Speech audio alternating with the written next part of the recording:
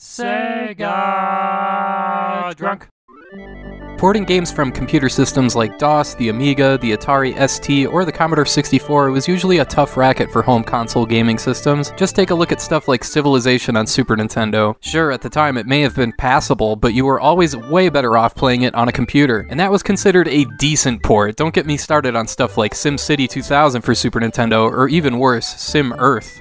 That's what makes Sid Meier's Pirates Gold for Sega Genesis such a revelation. It was great then, and to this day, it's a great playthrough now. In fact, you could arguably call it a top 10 Sega Genesis game. This game was originally made in 1987 by Sid Meier, who at the time was probably best known for his flight sim games for PC like Solo Flight and F 15 Strike Eagle. He later went on to make the hugely popular Civilization series and the Tycoon series. But it started with Pirates on the Commodore 64. It eventually made its way to everything from the aforementioned Atari ST and Amiga, and even the NES. It wasn't until 1993 when Pirates arrived on Sega Genesis, retitled Pirates Gold. What makes this game unique, especially for a home console release, is that it's open world, and even better, you play as a pirate. So you have every incentive to capture cities, command a fleet of ships into battle, duel other characters, seek out buried treasure, and tons of other stuff. Now, if you're more familiar with the Super Nintendo library like I am, the closest comparison would probably be Uncharted Waters New Horizons, but Pirates Gold is a bit more streamlined and a lot more user friendly with a much better visual presentation. One of the first things that sticks out about this game is how it looks. What's crazy is that it's almost shot for shot comparable to the Amiga CD32 version of the game. Pirates on that system is being played on a CD peripheral for a 32 bit console, but the Genesis port compares so closely it's unreal. There's a link in the description detailing the comparison if you want to know more.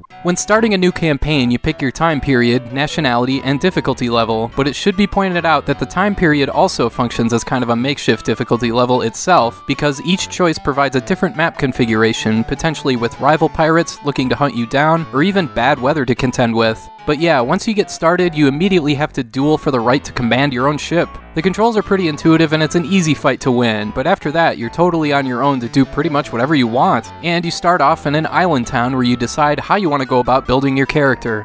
Most people in their first playthrough will just go full pirate, and why not? So to do that, you gotta build up some money and get a crew together. You can visit the store to check prices and buy and sell stuff, visit the bank to address your financial situation, and visit the tavern to recruit people. If you'd rather have a more linear approach when you start this one, you can always go visit the governor and he'll give you a mission. But when you do this, you have to be wary of the reputation you're building, and you'll be seen as an enemy by rival governors. Eventually, you set sail, but you don't just move from point A to point B. Sailing in and of itself can be pretty risky. For instance, you have to keep the weather in mind at all times and watch out for other ships who are onto your schemes. The battle music here is great, as is the sound of the cannons echoing as they fire at each other. Most importantly, just about everything here is pretty easy to figure out, like boarding other ships and engaging in a duel. You gotta be careful you're not boarding a ship bigger than you can handle though, otherwise you'll get overwhelmed quickly, so pick your spots appropriately. You can also plunder entire towns, which is pretty awesome. You can either stay in your ship and fire away, or take on the authorities on land. You have way more to gain by going after towns, but it's also a lot riskier, so you gotta make sure you have a battle hardened crew before heading in.